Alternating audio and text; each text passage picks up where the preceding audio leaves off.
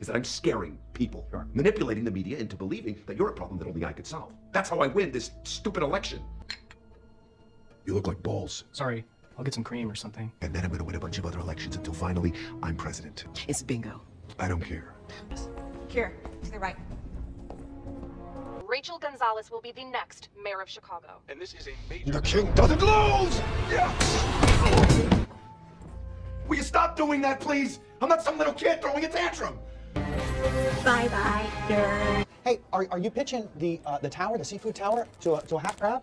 You know, killing people is not a recognized hobby. I can't knit.